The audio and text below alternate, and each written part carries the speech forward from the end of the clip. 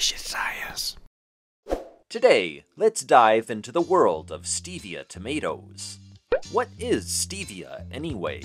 Stevia is a natural sweetener made by extracting a substance called steviol glycoside from the leaves of the Stevia rebaudiana plant, originally from Central and South America. I recently bought some commercially available stevia. Upon opening it, it turned out to be a very fine powder. I tasted a spoonful and found it to be much sweeter than expected, with a slight bitter aftertaste. Stevia is 300 times sweeter than sugar, but has no calories because our bodies don't absorb it. It also doesn't raise blood sugar levels, which is why so many dieters love it. Now, how are mini tomatoes with stevia made? Some growers sprinkle stevia on the soil and leaves while the tomatoes grow, absorbing the sweetener. However, these tomatoes generally don't end up very sweet. Interestingly, the really sweet stevia tomatoes we eat are just regular mini tomatoes that have been treated with stevia. We took a closer look under a microscope to see if we could spot any signs of stevia infusion. But there were no holes or marks on the tomatoes. In the past, stevia was injected into tomatoes using a syringe, but this method damaged the tomatoes quickly and reduced their shelf life. Now, they place the mini tomatoes in a solution with stevia and apply pressure to push the stevia into the tomato skin. Interesting, isn't it?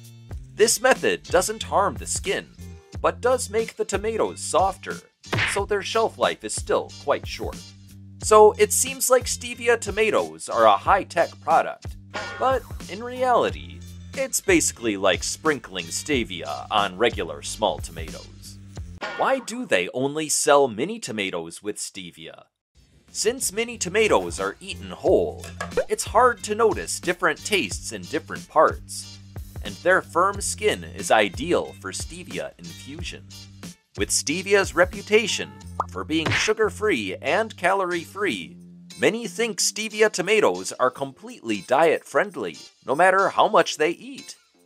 To check this, we compared blood sugar levels after eating stevia tomatoes and regular mini tomatoes. I ate 200 grams of each on an empty stomach. Then I took a blood sample. Turns out, blood sugar levels increased similarly for both. Although often misunderstood as sugar free, stevia tomatoes actually contain about the same amount of sugar and calories as regular tomatoes.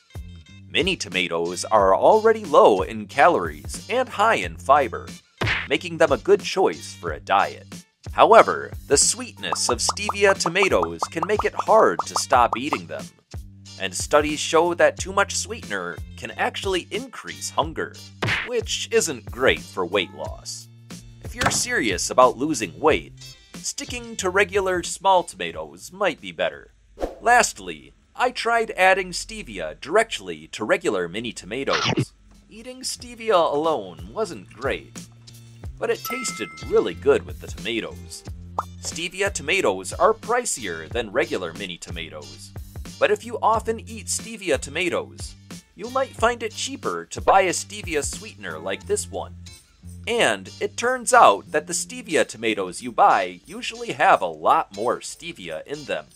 Stevia is generally safe, but eating too much can cause stomach pain and diarrhea, so be careful, especially if you're allergic to the Asteraceae family or have kidney issues. We should be cautious when consuming stevia tomatoes. That's all for our video on stevia tomatoes. If you enjoyed it, please subscribe to our channel. This was Fishy Science, where science unveils the mysterious.